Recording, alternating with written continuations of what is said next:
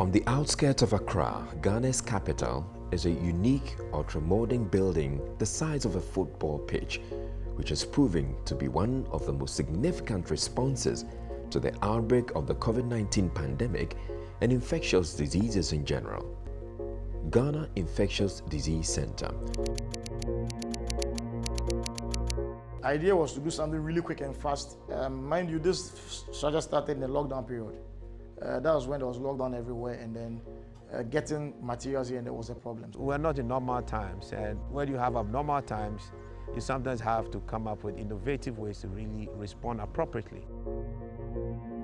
A good number of us felt it was time for us to really step up and help the state and the entire citizenry battle this particular challenge, which was the COVID-19 pandemic.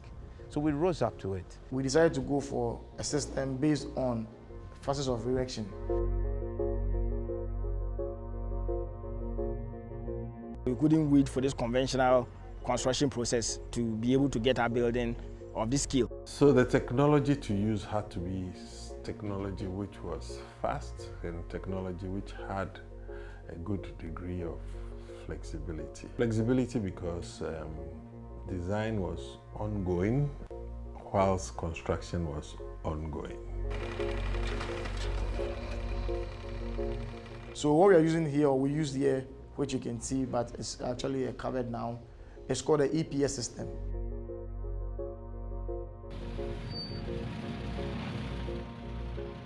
Off the Spintex Road, a truck from CST Africa is loading the EPS panels. Soon, the truck is on its way to the building site. The EPS system has a module of one meter by three meter height, just like plywood boards. Now you put this up and then it moves faster. Unlike block work that you have to do four course at a time, let it dry before you put another one. These ones gave us speed with time because you can actually build a whole room within a day. The small group can put up a whole wall like this in a few minutes. Little excavation, do the edge beams, raft designed by the engineer, then on it stands with this expandable polystyrene. Tie them here and there. After that, you do shotcreting. You mix a, a, bit of a cement slurry and add um, fiber mesh to it to give you that plastering effect. Block and mortar could have built this, but uh, arguably would have built it at a much slower pace and would have been appropriate for the kind of speed that we required. A very refreshing alternative to deal with projects of this nature. One of the first fastest to come up within two to three weeks. And then after that, we put in the, the tie beams and then the roof system and also the ceiling started coming in now. A 100 bed facility built in record time using innovative technology and at a fraction of the cost for similar sized buildings on the construction market. The streets of Accra are empty. It is March 2020 and the government has declared a partial lockdown to curb the spread of the coronavirus. We started when there was a lockdown. Very little moved across town. There was this difficulty of movement of personnel. But there was an important exception. We took up that tax, we provided buses and security, and we ensured that we got all workers to and fro from the site.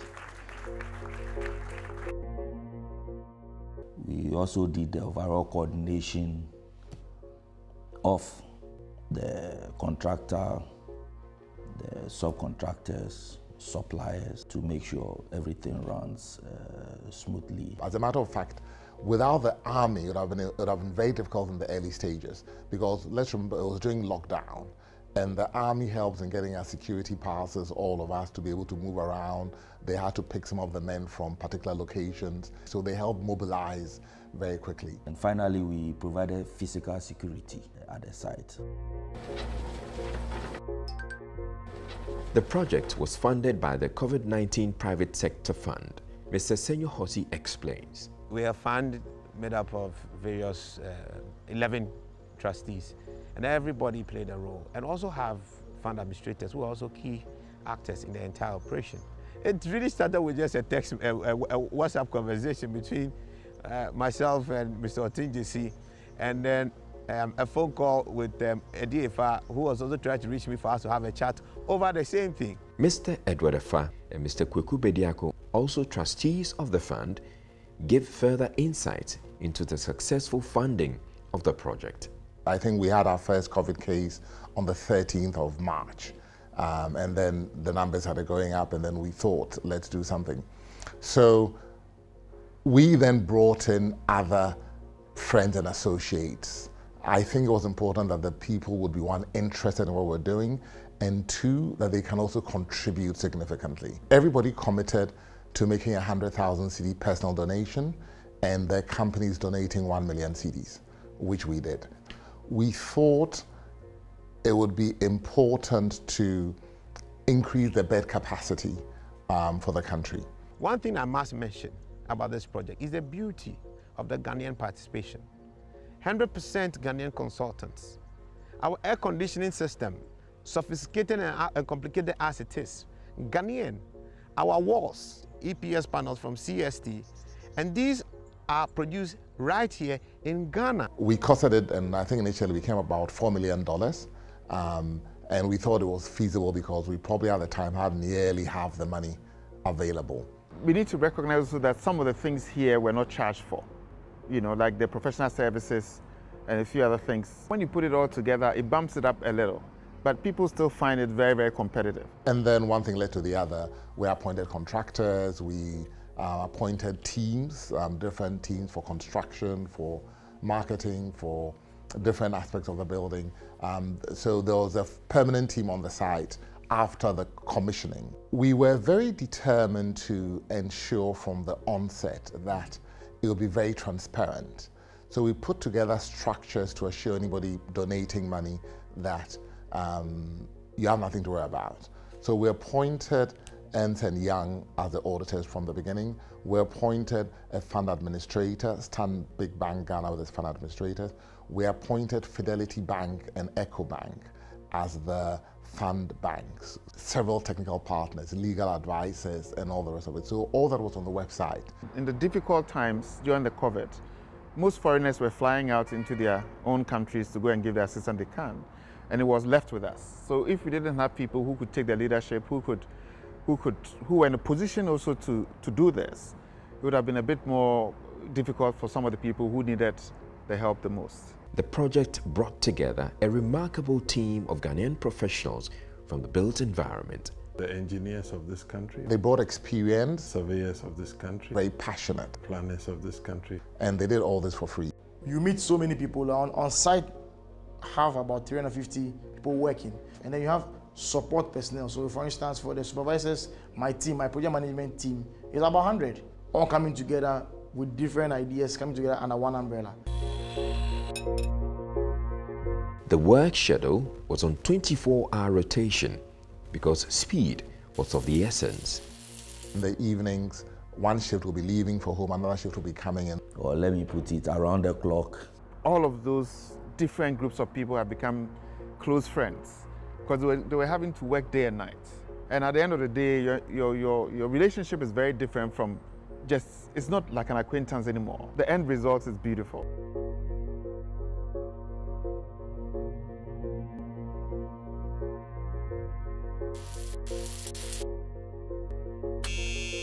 Off the Spintex Road, we met Mr. Joey Champong, the owner of this factory, who earned deserved praise for going the extra mile to make his product available. CST uh, were one of our major vendors. They provided us with the EPS walls because it enabled us solve both our, our solid wall requirements and our insulation requirements at the same time. They came up to us and uh, we readily delivered. They were supposed to also be locked down. We called on Mr. Achampong. He organized his team during the lockdown period to go and work 24 hours producing just for this project. It takes a Ghanaian who is committed and identifies with the urgency of the time as a, as a, as a true citizen to be able to bend his back and commit the way CST did. and we really appreciate the services they delivered to this project. As a company, cannot have a better opportunity to be to be heard and to be seen than in an emergency situation like this and delivering for the benefit of the people that require the service. We started with an architectural concept. We developed it and along the lines when we had enough information, we went straight to site to deliver it. Sooner than later, the structural foundation for the facility has been laid. On site, construction is brisk and there is intense activity. The architectural design took into considerations some of the experiences from other countries. Many countries had a big problem with the health workers being infected. We have the facility divided into zones. So we have a green zone and we have a red zone. So the red zone is actually where the patient comes in. The person will be held in the patient area, receive area. These are have control doors, sensor doors that contains any infection that the person might have. In this area, you have wards on left and right of it. Each ward contains or can take six people or more. We move in a one-directional aspect. You can't go back and forth. So you enter through this way, you are discharged through what we call the green corridor. There's a nursing station here. Um, it's actually the hub of the facility. All um, controls are done from here. Administration of all the wards here is done from this nursing station.